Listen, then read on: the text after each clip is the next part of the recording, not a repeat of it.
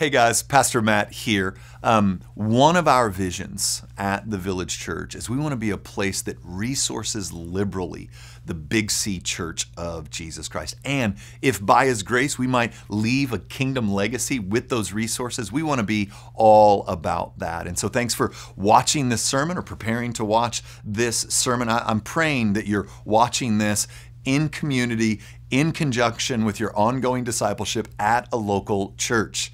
And, if by the grace of God, this becomes one of those things that continues to build up your faith, encourage your walk, fuel your love for Jesus, would you consider giving?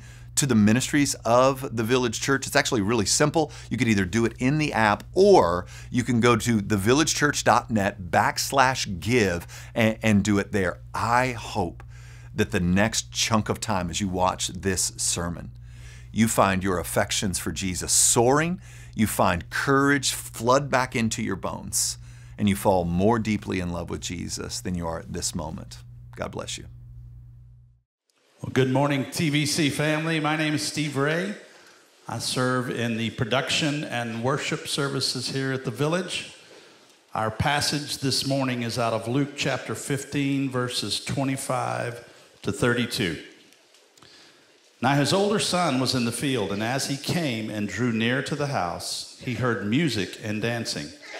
And he called one of the servants and asked what these things meant. And he said to him, Your brother has come, and your father has killed the fatted calf because he has received him back safe and sound. But he was angry and refused to go in. His father came out and entreated him. But he answered his father, Look, these many years I have served you, and I have never disobeyed your command. Yet you never gave me a young goat that I might celebrate with my friends. But when this son of yours came, who has devoured your property with prostitutes, you killed the fattened calf for him. And he said to him, Son, you are always with me, and all that is mine is yours. It was fitting to celebrate and be glad. For this your brother was dead and is alive. He was lost and is found. This is the word of the Lord. Thanks, Steve. Hey, good morning.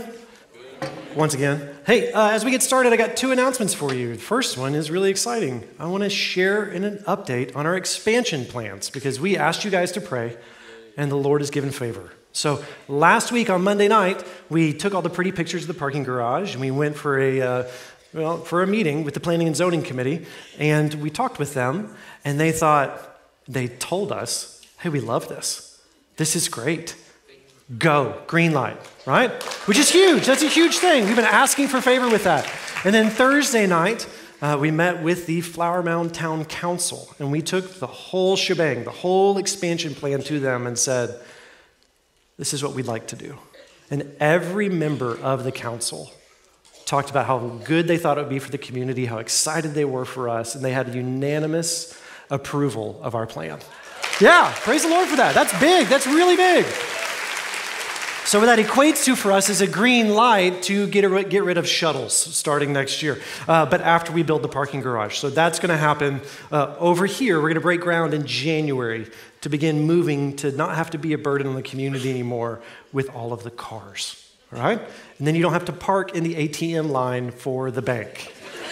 Just saying, this is what we're trying to help you do. Uh, second is that I'm here because Matt and Lauren are marrying off their oldest daughter, Audrey, today. Yeah. Now, if you if you recall a few weeks ago, he said this, and you might recall 14 something years ago that Matt said this while he was in his battle with cancer, there were two things that he was just really hoping the Lord would let him see. His boy to become a man and his girls to get married. And this month, he celebrated Reid's 18th birthday. And today, he's going to do his best to hold it together as he walks Audrey down the aisle, trades places with Josh, and then officiates his daughter's wedding ceremony. So you can pray for him and Lauren for that because I don't think I'm going to be able to do that when that day comes. But what a sweet grace of the Lord. Just what a sweet grace of the Lord to preserve his life and let him see those things amidst every other thing that's been done. So that's really sweet. Uh, now, today in our time, I'm going to run the risk uh, that you've heard or read what is often called the parable of the prodigal son. Is that fair? I don't often make, want to make an assumption about Scripture, but this one's been done. Um, now, what I want to do today is to talk about a character in the story that's the one that I have most often identified with. In fact, the one that I am most often embarrassed to identify with, and the one that I wish I could desperately be free of the older brother. Uh, of the two sons, I know that many of you may relate primarily to the prodigal. You've run far after your own desires, you've made a mess of things, and by grace, you've come to your senses. And you've come to know the love of God that has forgiven you. And you have repented in return and come to live with hope in Christ. And I can tell you that I have often known grace in theory, and I struggle to accept it in practice. Oh, I have often known grace in theory, and I struggle to accept it in practice. I can admit my idea, my need for the idea of grace. Like it sounds good. There's this idea that I'm, I'm like, I'm with you, but then I will turn around and live like everything about my standing with God depends on what I do. And therefore, every inch that I earn, I have to fight to protect from loss. Because if I live that way, if I lose it, I have no other standing to trust. The first half of high school, I chased anything but Jesus. I was at church. I was born in the church steps, baptized at a young age. There, I chased anything but Jesus, first half of high school. The second half of high school, I chased the Lord in moral conformity with such conviction and zeal as only a 16, 17 year old can have, right? and defined my life more about what I didn't do than what I did do. I was the consummate student leader and was often praised for what, for all intents and purposes, looked like spiritual maturity. Uh, the summer after I graduated high school, I'd always, always been a reader. I read a book by a Franciscan priest, which you have to understand was a far cry for a kid from a Baptist red carpet white column church. Like, read a book by a Catholic priest. Like, this was, but a guy named Rich Mullins had written one of the forewords. And I had just learned the Apostles' Creed from Rich Mullins, so I thought, maybe this is a good deal. And so I read this book, Ragamuffin Gospel. Any of you familiar with this book? Yeah, none of you who didn't holler for Rich Mullins, so you need to go and listen to the Apostles' Creed. Uh, but Rich's book, it was a turning point for me because the God he spoke of was not how I related to God through my right behavior. The grace he spoke of was too risky, too free, too open handed, and felt too uncontrolled for me. I thought, how can you trust that? How did you earn that?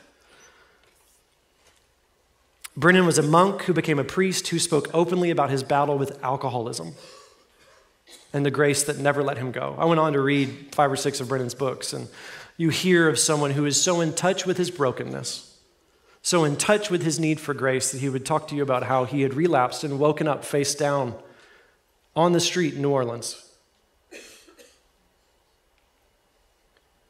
to be met with the grace of Christ again. A year or two later, I came across Henri Nouwen. He's French, guys, okay? Henri, it's not Henry. Uh, Henri Nouwen's book, The Return of the Prodigal Son. Any of you know this book? I'm just feeding your Amazon list here. That's what I'm doing. Um, you'll notice Rembrandt's famous painting of the parable here on the cover. Now, Nouwen spent a great deal of time meditating on the text and painting. In fact, he spent a great deal of time sitting directly in front of this painting in the Hermitage in St. Petersburg. Like he got a connection, knew somebody, knew somebody, put a chair for him in the middle of the museum and closed off the wing where the, where the painting was. And he sat with the painting and just meditated on it and the text. And this book is the fruit of that. Now, it, this book was a really painful, painful read for me because it cut true. You ever have a book like that? Like you, you want to quit it, but you just can't because it's so true. And what hurt for me was that I read myself in those pages not as the prodigal, but as the older brother. The one who lived at home but refused to enter into joy. Who is as much a slave to his desires as his younger brother, but blinded by resentment, entitlement, and fear. So I know you've most likely read the parable. I want to read it again for you to focus on our anchor passage. So here we are, Luke 15. And Jesus said, There was a man who had two sons, and the younger of them said to his father, Father, give me the share of property that is coming to me. And he divided his property between them. And not many days later, the younger son gathered all he had and took a journey into a far country where he squandered his property in reckless living. When he had spent everything, a severe famine arose in that country, and he began to be in need. So he went and hired himself out as one, to one of the citizens of that country who sent him into his fields to feed pigs. And he was longing to be fed with the pods that the pigs ate, but no one gave him anything.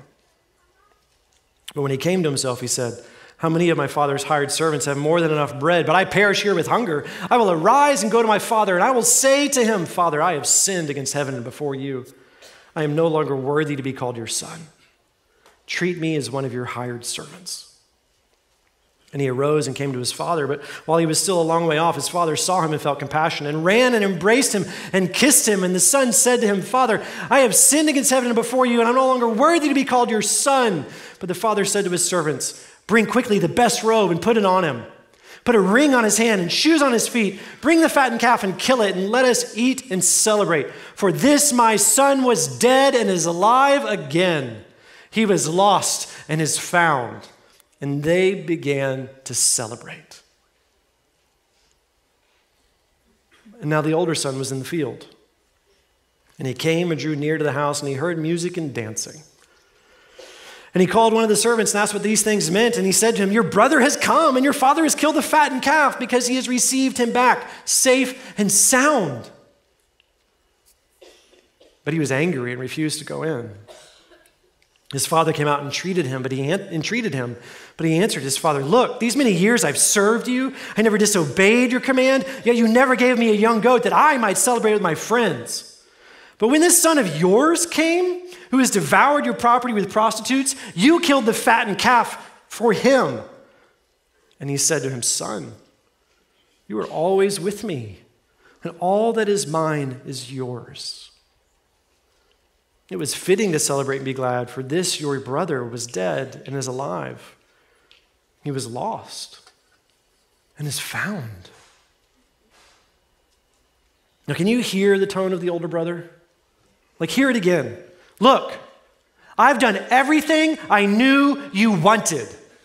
I've taken care of our things, and I'm the one who's been here ready to take care of you when the time comes. I have served you like a slave. I've never disobeyed you, and you've given me nothing. But this one who went out and disobeyed you, disrespected you, dishonored us, he comes back and you celebrate him over me? It's been 20 years since I read Manning and Nouwen's, uh, words for the first time. I've been a father for half of that now. And I think about my heart for my children, my heart towards my parents, and my heart before God. I think about our desire for love, the fight for respect the want of being honored, the drive to do what's right, and the self centered resentment when I struggle to celebrate someone else because I wish it would have been me.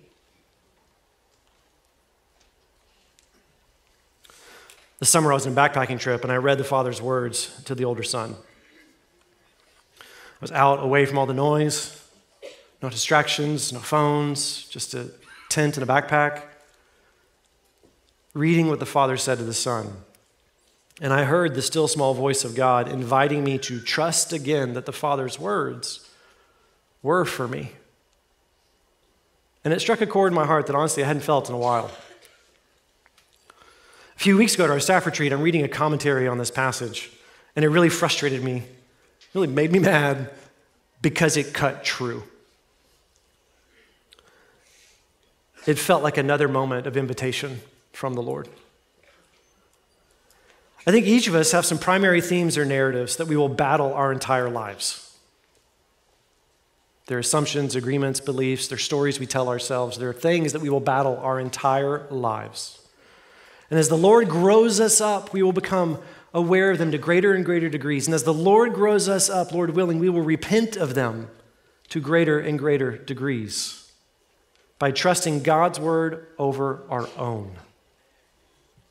So, reading that afternoon, felt like a moment the Lord reminded me of my own tendency to get lost at home.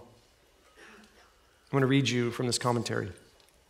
The writer says, It's easy to see how lost the prodigal son was, but do you see how lost the older brother was? He was as lost as his, as his little brother, maybe even more lost, because he was lost on the inside, not on the outside. So nobody could tell how lost he really was. Even though he had never left the family farm, he had abandoned his father's heart. And thus he was lost in his own home. I don't want to over torque the parable, so I'll tell you outright I think all Christians are both brothers at some point in their life. I think all Christians are both brothers at some point in their life. We are the prodigal running from God, and we are the older at home and offer joy, but settling for duty. We can be both saved from our sin and then judge others who confess theirs. We are sinners turned saints who sin, and we are prone to distrusting the grace that made us saints. We are prone to trusting what we can do for God over God and who He is. You know, I like questions. Some of you don't like that I like questions, but you're here.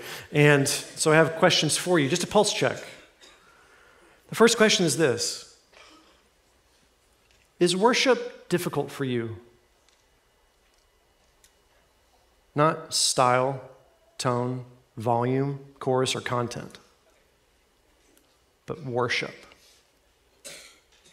To offer a sacrifice of praise to God to be thankful from the core of your being, delighting and in celebrating God from the heart. Is it hard for you? Is it a challenge? And if it is, do you know why?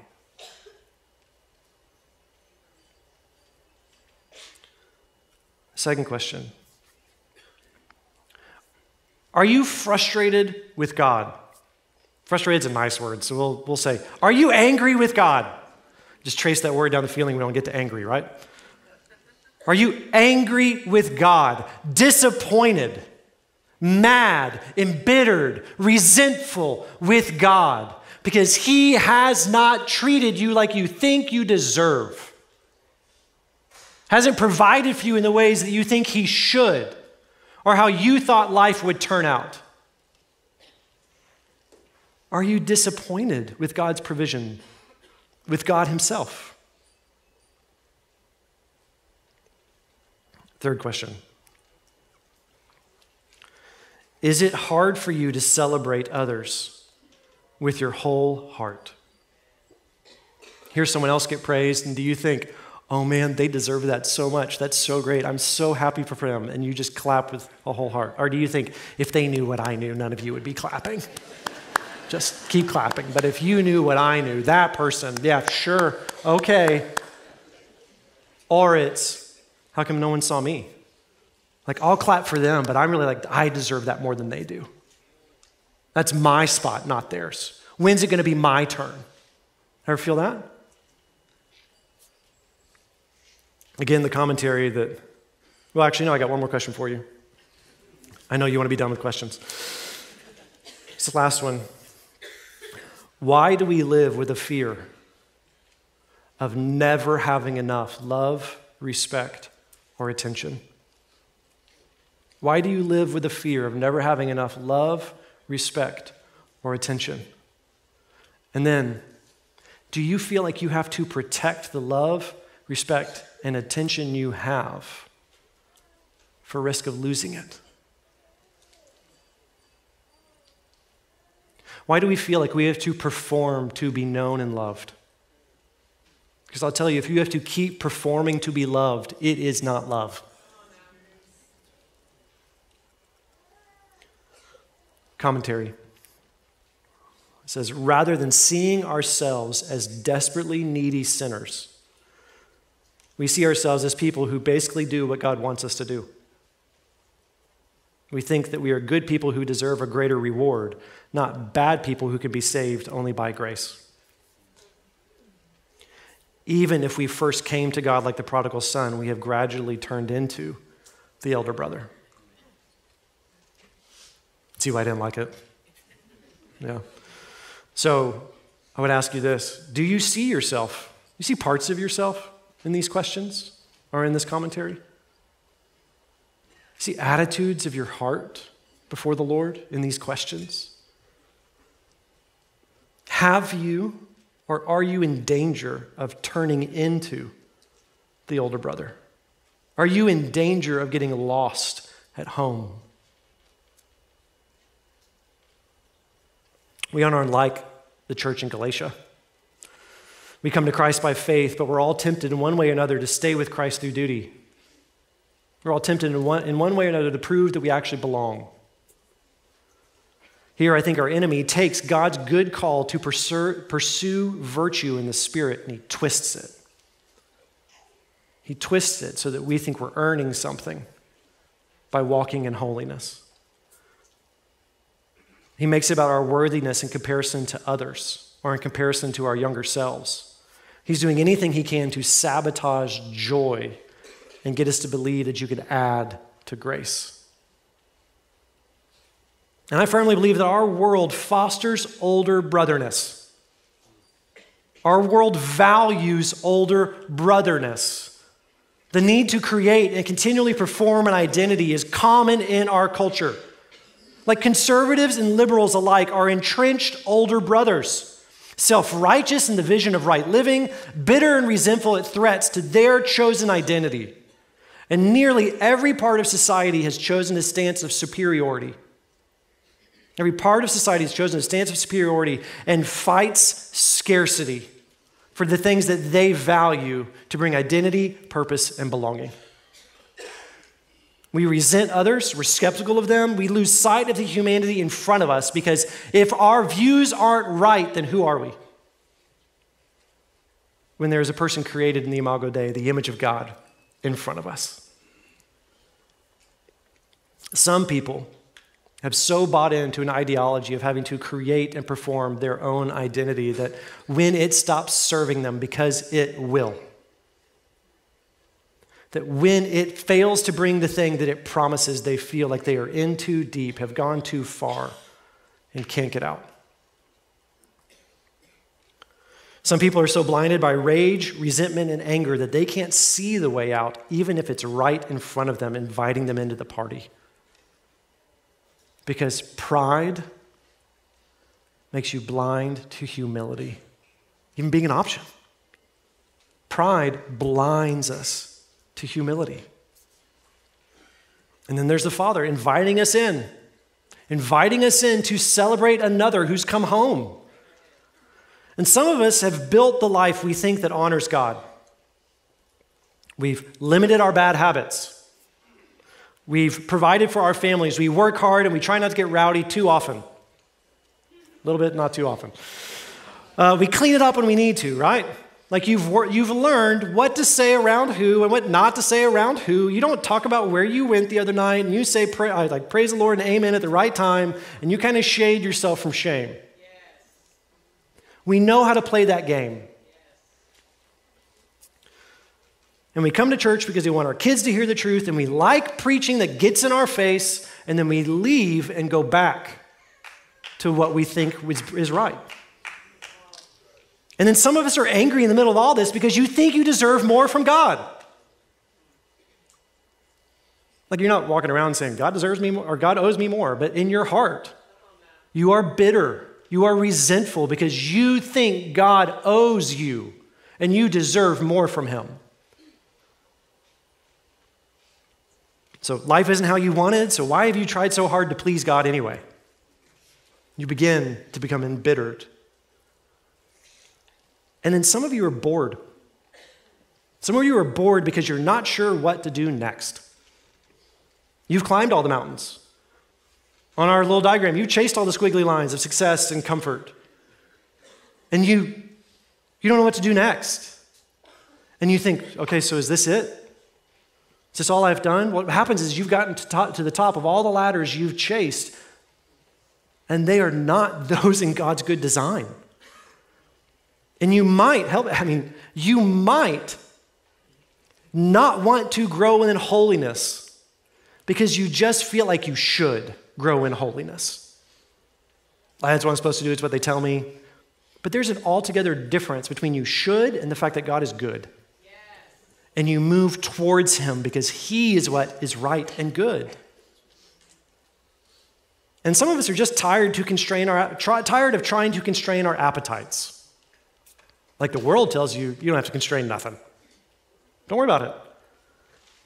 But to live is to have discipline. To live is to have limits. To live in God's design is to have right limits and right fashion. But we don't want, we get tired of constraining our appetites, our budgets, and our attention, so we let it leak out in small ways that we think don't hurt anybody. So we can buy things, we can treat ourselves, we can watch this, we can read that, we can give our minds to this, all in a way of thinking, well, it's not really hurting anybody.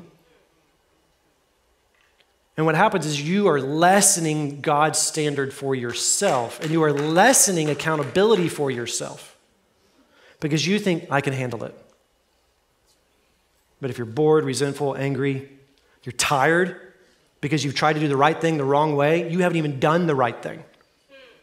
Because it's about our hearts not being lost at home. I was talking with a friend last week whose pastor had a moral failing and was removed from his position. I've had this friend for 25 years. And she said, all of a sudden, here was this person who I thought I knew. This person who I thought I understood. And then you realize you never really know someone unless they want to be known.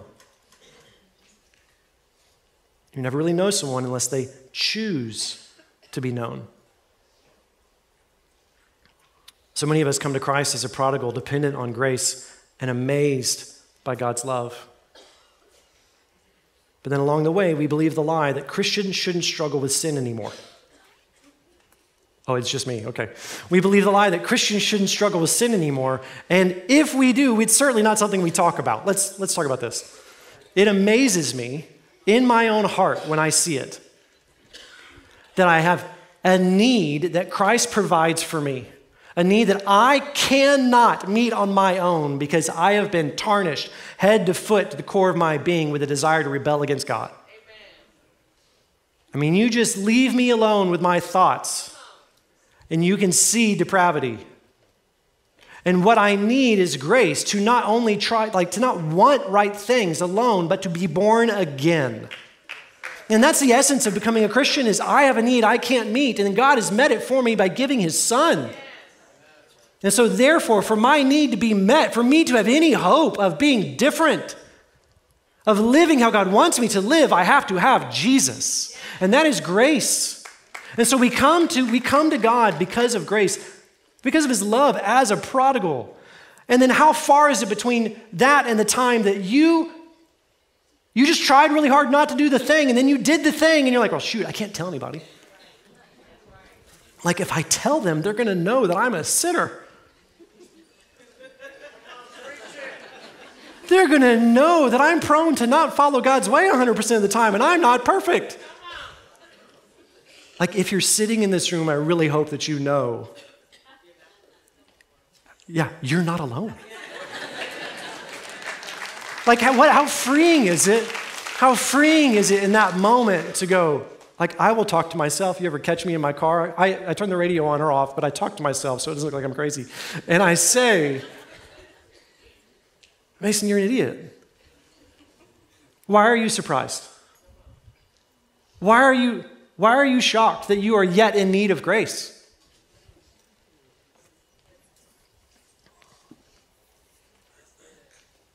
In Brennan's book, he says this. He says, At Sunday worship, as in every dimension of our existence, many of us pretend to believe that we are sinners. Consequently, all we can do is pretend to believe that we have been forgiven. As a result, our whole spiritual life is pseudo repentance and pseudo bliss.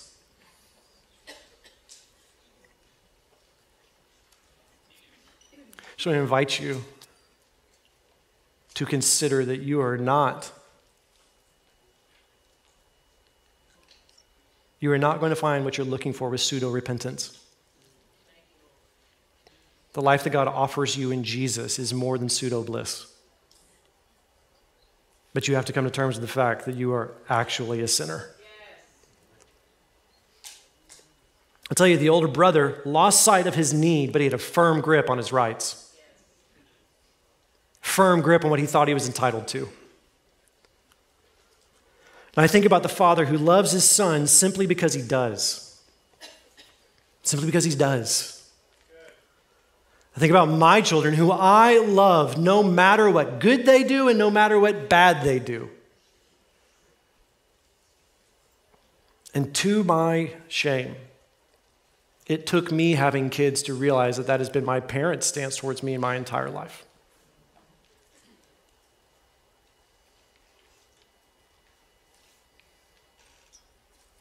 They felt it then and they feel it now.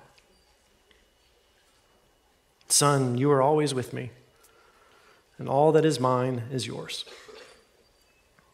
It was fitting to celebrate and be glad, for this your brother was dead and is alive. He was lost, and he's found. Some of you know I like to paraphrase the text, so here's my paraphrase Son, I love you. I have always loved you. You have done the right thing for the wrong reasons, and it's taken your heart away from mine. You can't see it right now, but celebrating your brother is right because he was lost and has been found. And you, son,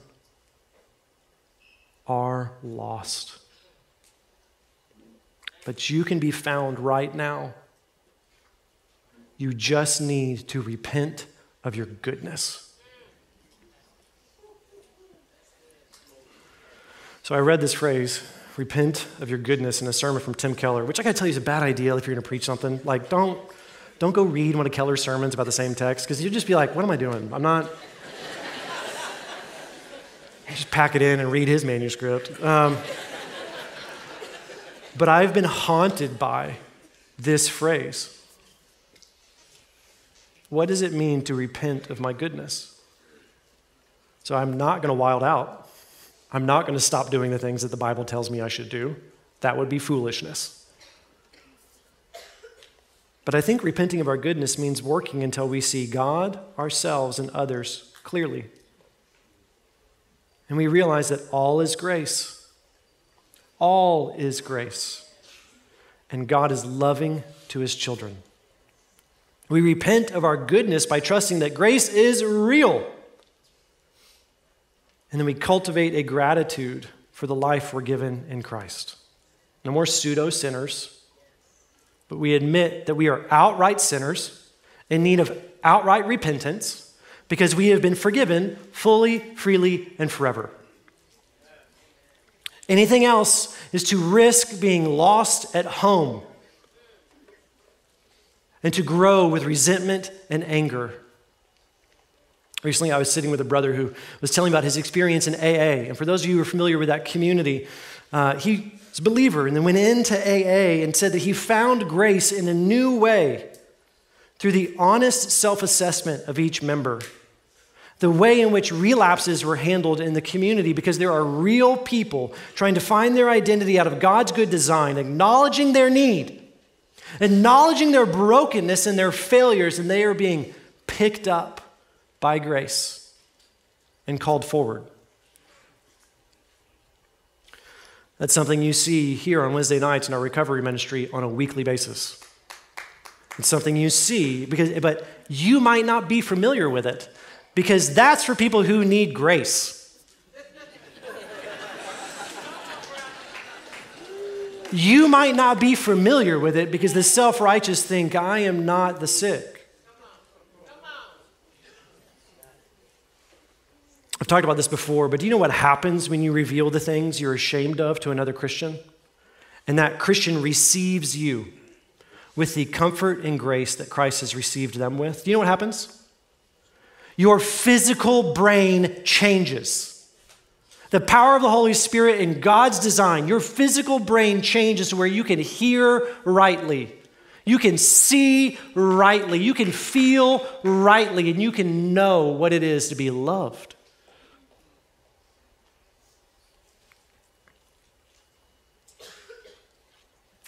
Older brothers and sisters are looking for all of that by performing and being perfect. Because we think that's what God wants.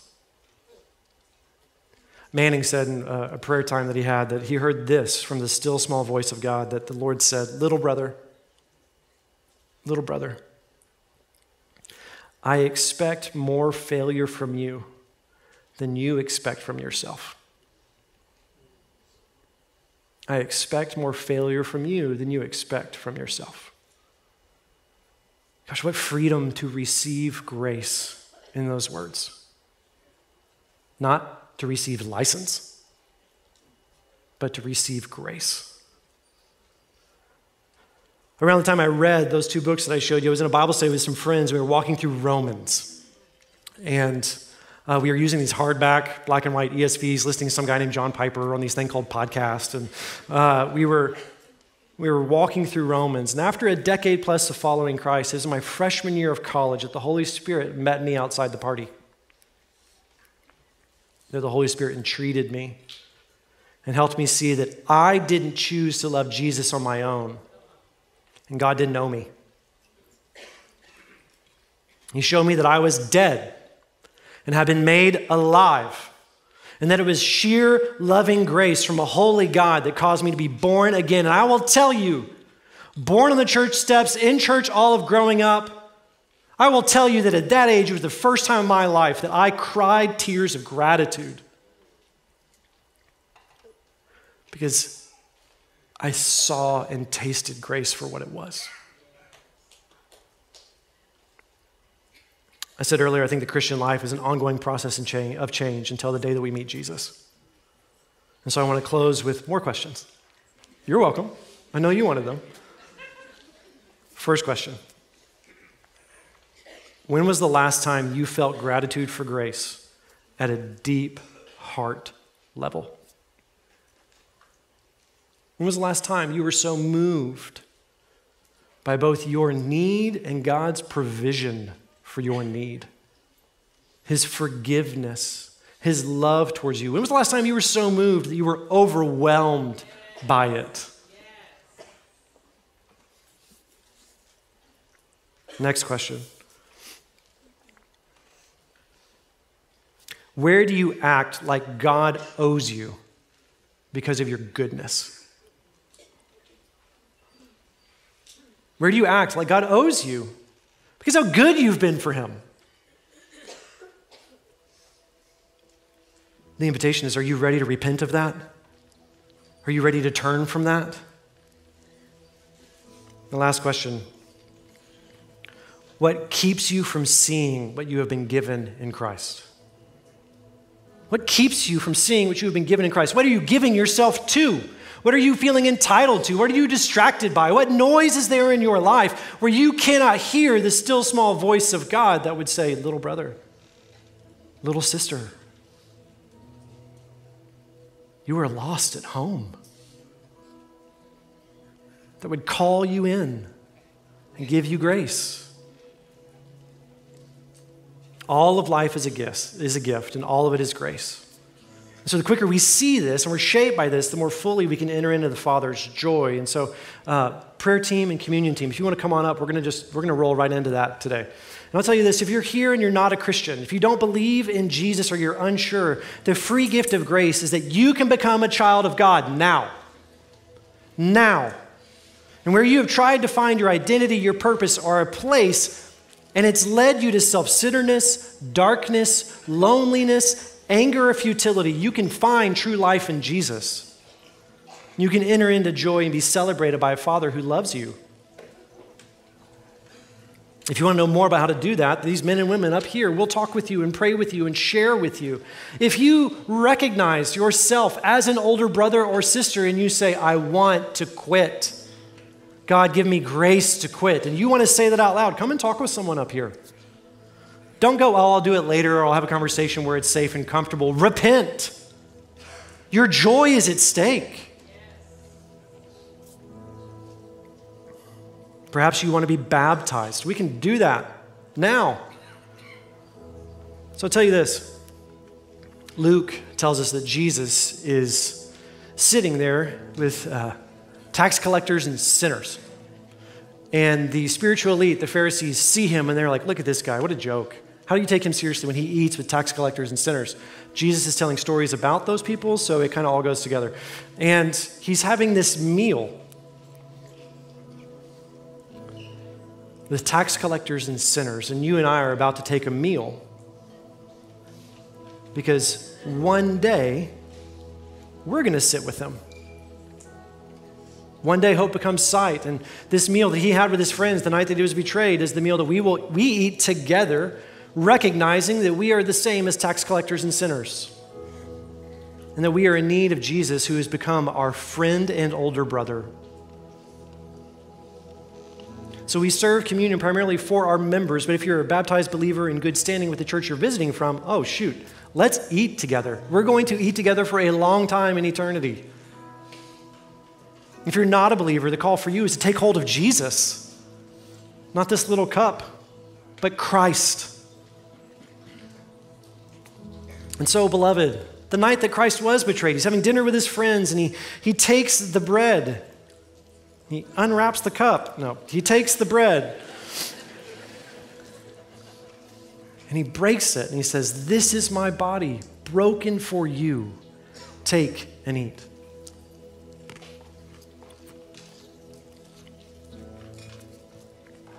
In the same way, he takes the cup and he says, This is the blood of the new covenant.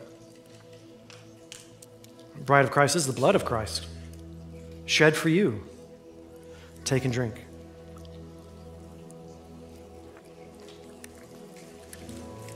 In just a second, uh, we're going to sing our gratitude to the Lord, but I want to pray, and then we'll do that together. Would you please join me? Heavenly Father, would you please help us repent where we have become lost at home? Would you help us see rightly and receive and accept grace? If we need to run to you for the first time, would you give us boldness of desperation of need? And may we sing to you with hearts that are full of gratitude. Pray in Christ's name, amen.